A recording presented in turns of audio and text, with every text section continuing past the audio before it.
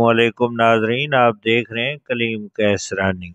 तातारी फौज एक शहर दरबंद में पहुँची, वहाँ एक बुज़ुर्ग सैयद अहमद दरबंदी रहमत रहते थे। तातारियों की खबर सुनते ही मुसलमानों ने सारे शहर को खाली कर दिया। फकत शेख अहमद दरबंदी और उनके खलीफा मस्जिद के अंदर मौजूद रहे। तातारी शहजादे ने कहा कि, जाओ पता करो, कोई इंसान इस शहर के अंदर मौजूद है या नहीं? बताया गया कि दो बंदे मस्जिद के अंदर बैठे हुए हैं।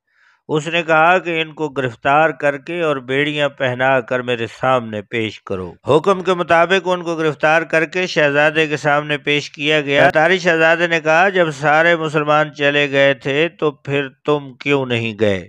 उन्होंने कहा कि हम अपने परवरदिगार के घर में बैठे हुए थे और इस घर से हमें कोई नहीं निकाल सकता। शहजादे ने कहा कि तुम कैसी बातें करते हो? हमने तुम्हें निकाला, हमने तुम्हें बेड़ियाँ पहनाई और हमने तुम्हें मुजरिम की तरह सामने खड़ा कर दिया है। शेख अहमद दरबंदी कहने लगे कि ये बेड़ियाँ क्या चीज़ हैं? चुनाचे शेख अहमद दरबंदी ने उस वक्त ज़ोर से कहा, अल्लाह! उनका ये कहना था कि जंजीरें टूट कर नीचे गिर गईं। ये देखकर तातारी शहजादे के दिल में हैबत बैठ गई। कहने लगा, मैं आपको इस शहर में रहने की इजाज़त देता हूँ। चुनाचे शेख अहमद दरबंदी ने इस शहर में रहना शुरू कर दिया। ततारी शहजादा कभी कभी उनसे खुफिया मुलाकात करने के लिए आता। अल्लाह ताला ने नूर फरासत से शेख अहमद दरबंदी को बता दिया कि एक वक्त ऐसा आएगा कि ये शहजादा पूरे मुल्क का हुक्मरान बनेगा।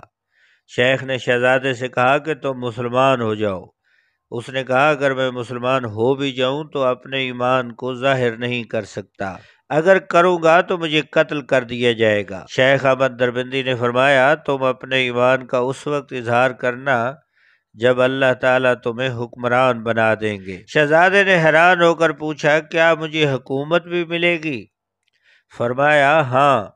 मेरे बातन का नूर बताता है कि तुम्हें हुकूमत मिलेगी। चुनाचे शहजादे ने वादा कर लिया कि जिस वक्त मुझे हुकूमत मिलेगी, मैं अपने इस्लाम लाने का ऐलान करूँगा। अल्लाह ताला की शान देखिए कि तीस साल के बाद उस शहजादे को हुकूमत मिली तो उसने इस्लाम कबूल करने का ऐलान किया।